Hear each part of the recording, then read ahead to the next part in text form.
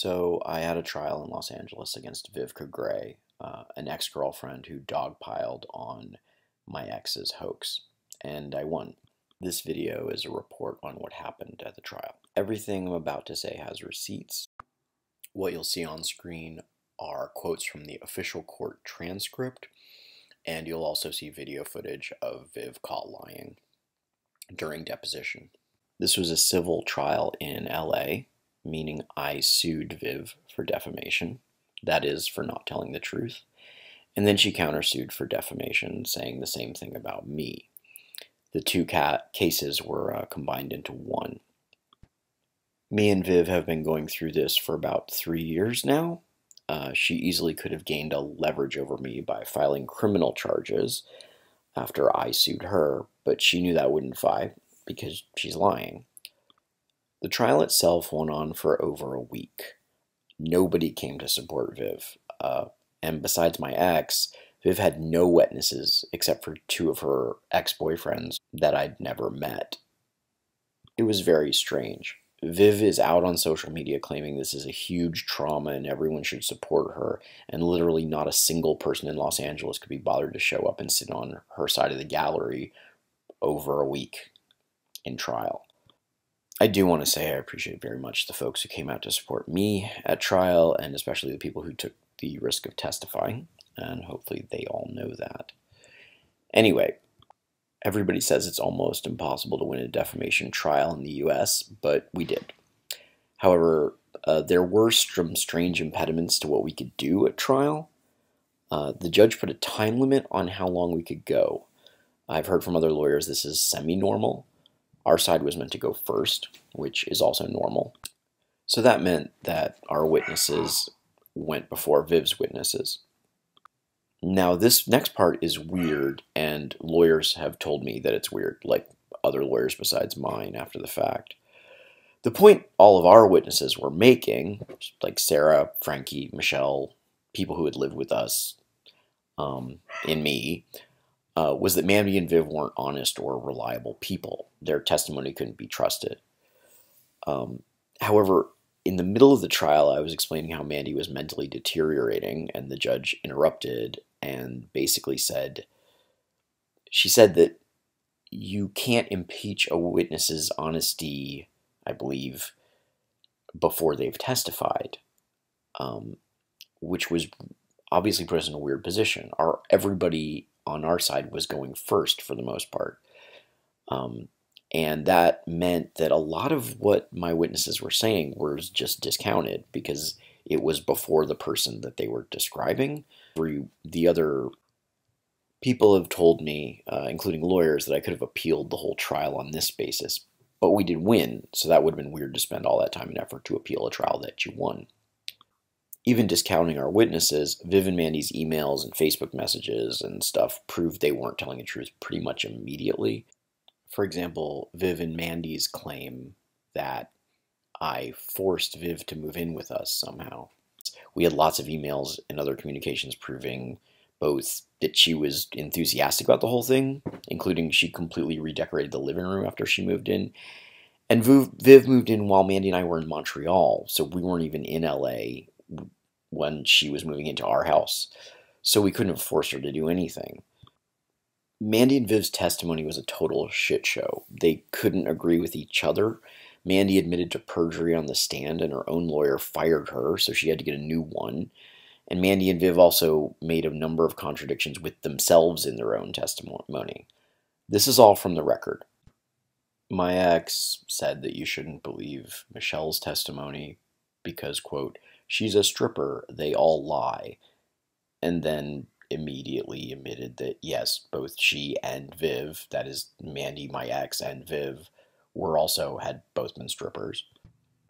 Although Mandy had testified under oath that every single thing Viv said was something she knew to be true, when she was cross examined, she started to admit that actually a lot of these things Mandy herself admitted she hadn't heard me say or seen me do firsthand.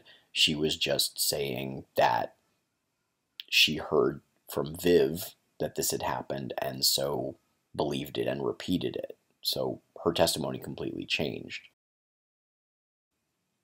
Mandy also admitted to destroying evidence uh, where she and Viv were discussing what they would say before the trial.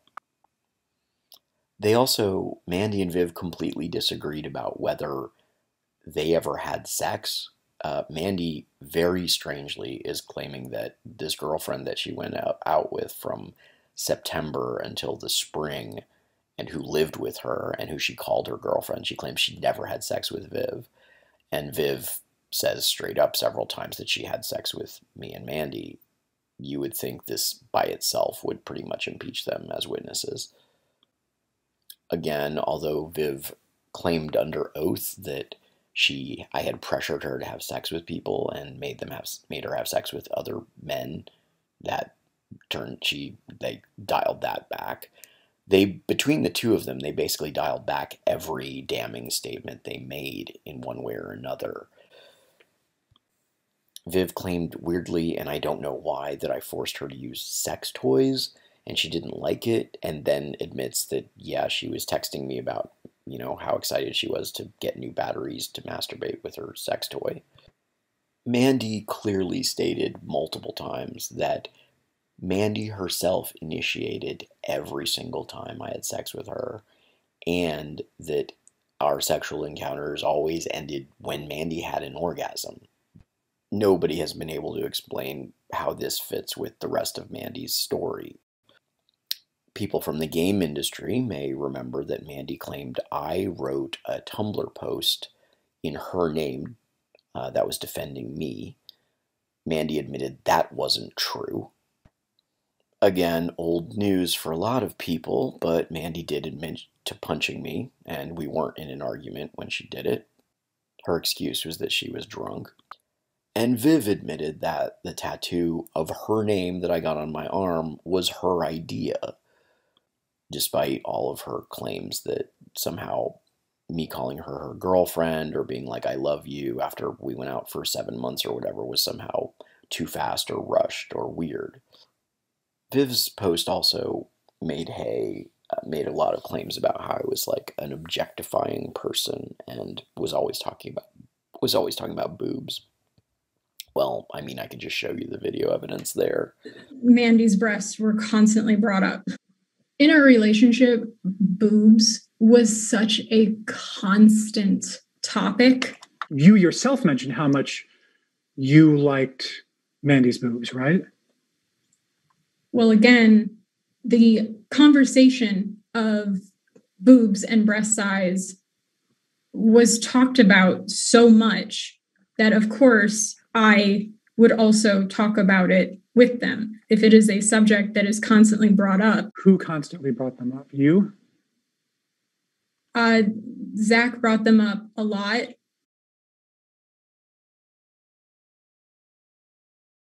Oh, lame. Really Seven My mom better. never had them. You don't like. And Bug, now I don't. bug, bug, bug. My mom didn't have them until she got older, and then I was giving her bras I didn't fit. Come on, Zak, give it to me. Come on. Yeah, you're right, guys. I really took a load off my chest. Sorry that taking our wagon. And the other one in the over last here. room, these look all snaky. Yeah. Ah, God, they're it's all, all connected. I thought that they were curvy like a woman. I thought so too, really, when I saw I saw thought they were just It's easy to lame. distract. It's not modern enough. Like, oh, Colin looks like tits and ass. All right, Is that 14 or collar? higher for your. Oh my god. Yeah, look at the front. It's Oh my a little God. too big for my taste. I, I like big girls.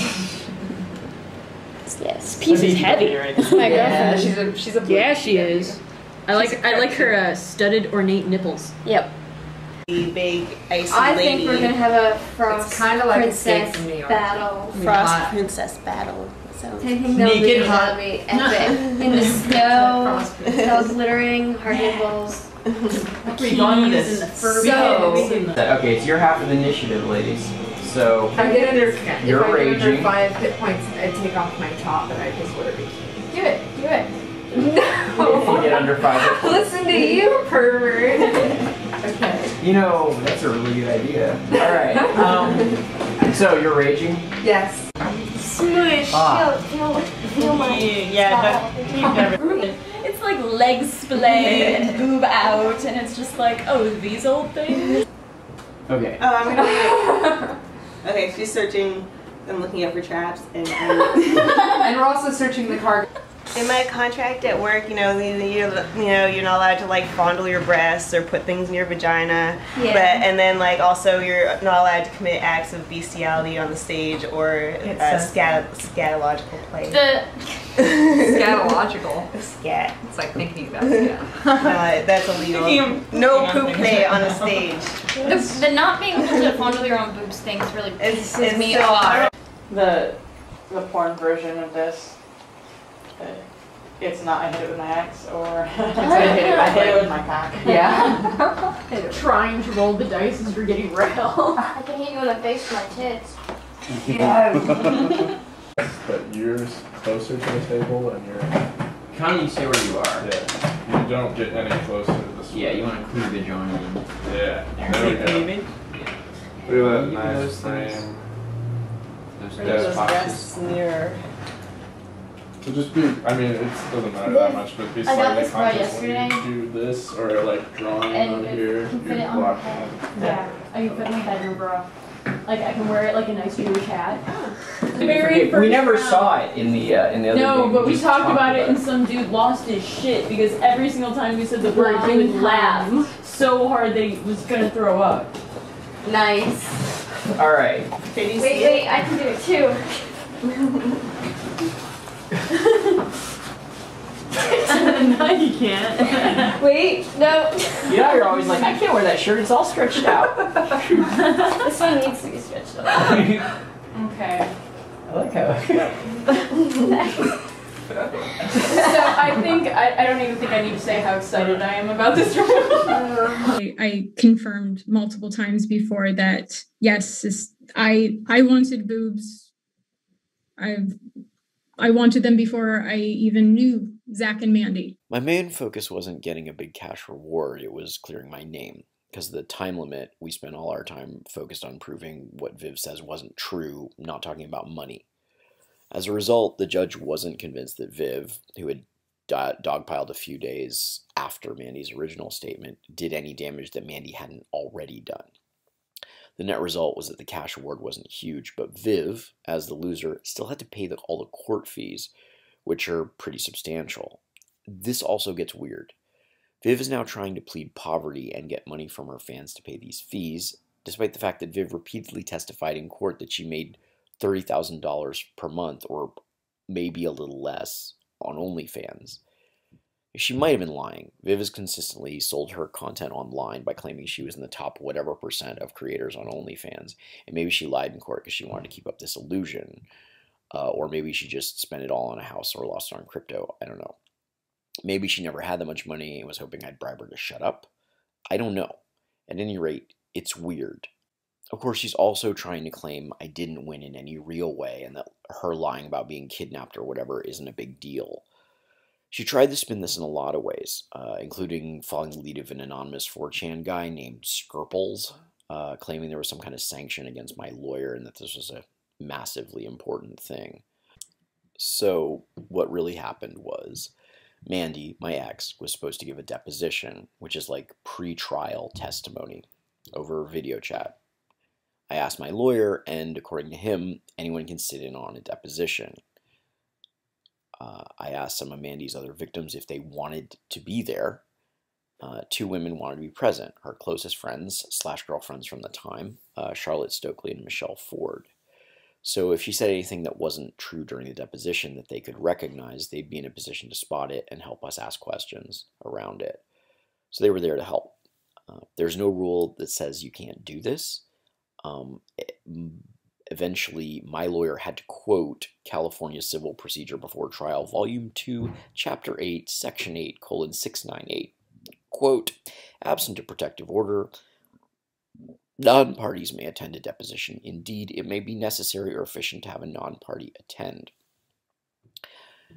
Viv's lawyer just said she didn't get enough notice before this happened, and if she had, maybe she wanted to file a protective order because Mandy was claiming to be like traumatized by having to see on the screen that two of her victims were listening in. they stopped the deposition.